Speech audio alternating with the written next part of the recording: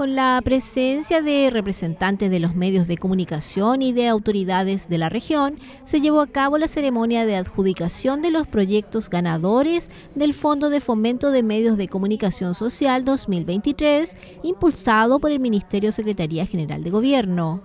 En esta versión fueron 26 los proyectos aprobados en Tarapacá para radios, revistas, medios electrónicos y televisión y que se desarrollarán hasta el mes de noviembre abordando diversas temáticas.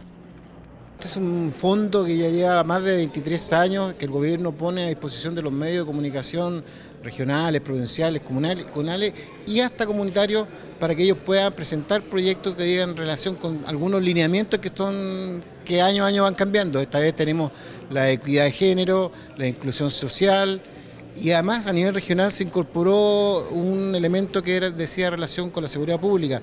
Por lo tanto, los medios de comunicación tienen a su disposición estos medios. Este año repartimos más de 120 millones de pesos, son más de 26 beneficiarios, por lo tanto estamos muy contentos de poder desarrollar este tipo de iniciativas, de representar este tipo de iniciativas desde el gobierno de Gabriel Boric. Primero es destacar y felicitar a cada uno de los medios de comunicación por adjudicarse estos fondos que son fondos concursables, hay que contarle a la comunidad donde todas las instituciones pueden eh, acceder con una postulación y que gran parte de ellas eh, se, adjudican estos fondos precisamente en este año 2023, que son más de 120 millones, para poder generar algunas acciones importantes para la región.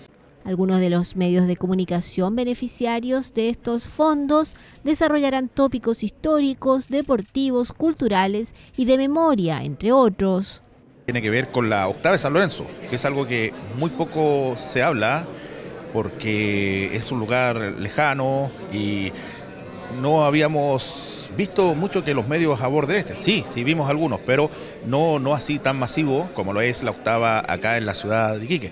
Entonces vamos a realizar ese proyecto que tiene que ver con la octava en una población emblemática, de una comuna también emblemática como es Alto Hospicio, la población El Boro. El proyecto se llama Voces Literarias de Tarapacá, es un proyecto con escritores ya que vienen a relatar entonces eh, sus, propias, eh, sus propias vivencias a través de cuentos. Es un, proyecto literario que viene armado desde el proyecto de la radio. El proyecto básicamente es un intento de rescate de memoria, ¿cierto? El programa eh, tiene como principal parte a los adultos mayores, eh, un programa de entrevistas con invitados de renombre y gente que no es conocida tal vez a, nivel general, porque la ciudad ha crecido tanto, pero que tiene mucha importancia, por ejemplo, dentro de lo que es deporte, músicos, eh, profesores, y que ellos nos vayan contando su experiencia, su vida, cómo fue desde niños en esta ciudad interesantes y necesarios proyectos de difusión que en muchos casos, de no ser por este aporte, costaría mucho realizar.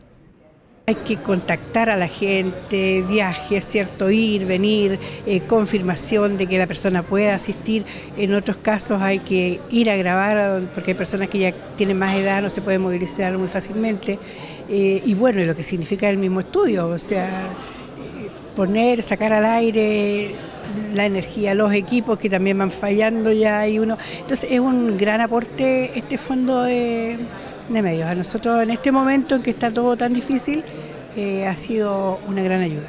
Para el gobernador de Tarapacá, los medios de comunicación también cumplen un rol en el necesario proceso de descentralización.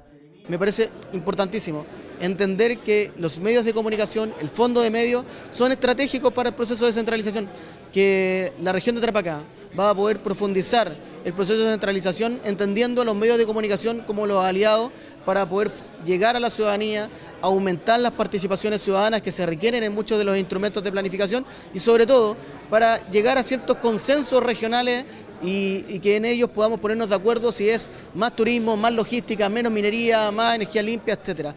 Este fondo concursable, además de potenciar el desarrollo de temáticas de índole regional a través de medios escritos, radiales, televisivos y digitales, también permite la adquisición de equipamiento que mejore el desarrollo de las comunicaciones.